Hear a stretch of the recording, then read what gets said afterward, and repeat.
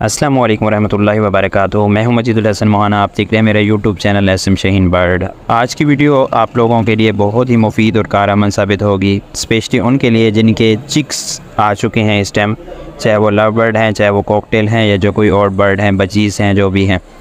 तो आप लोगों ने एक रूटीन बनानी है, एक दिन छोड़कर दूसरे दिन आपने ब्रेड लेनी है, अपने परिंदों के हिसाब से देख लें। दो जोड़ों के लिए एक ब्रेड और हाफ़ अंडा।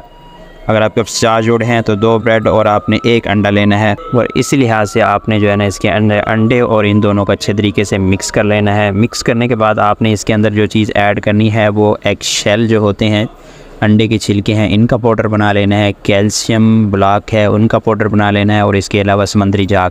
ये तीन चीज़ों का पाउडर बना के इसको भी जब आप इनका मिक्सचर बनाएँगे, उसके ऊपर छिड़क देंगे। उसके अलावा आपने अंडों की जो जो बच्चे हैं, आपने उनकी ग्रोथ के लिए आपने जो चीज़ इस्तेमाल करनी है, आपके पास है वाइटल सोस सुपर ठीक है? ये दो तरह काम करता है। आपके अगर चिक्स आए हुए हैं, आप उनको ग्रो कराना चाहते हैं बहुत अच्छे तरीके से तो ये चीज़ आपने लाजमी इस्तेमाल करनी है, ठीक है? एक लीटर के अंदर जो है ना, आपने एक ग्राम ये वाटर सॉल्ट सुपर जो है ना डालना है। और एक चीज़ आपको बताता जाऊँ, ये ब्रीडिंग के लिए भी बड़ा कमाल का फार्मूला है। आपका पेयर अगर ब्रीडिंग पे नहीं है ख़ास तौर पर इस वक्त आपको पता है जो सीज़न ब्रीडिंग का शुरू हो चुका है, इसमें आप लोगों ने लाजमी जो है इसको इस्तेमाल करना है।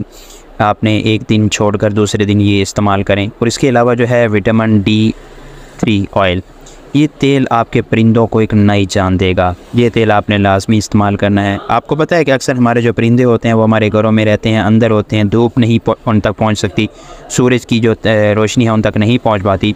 इसलिए विटामिन डी थ्री की कमी हो जाती है। तो ये तेल आपको बहुत मददगार साबित होगा आपके परिंदों के लिए।